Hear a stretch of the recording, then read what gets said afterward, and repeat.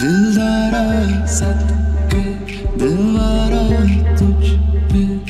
पता नहीं गौर से क्यों देखते हैं लोग सब लोग नहीं देखते सिर्फ तवज्जो देने वाले देखते हैं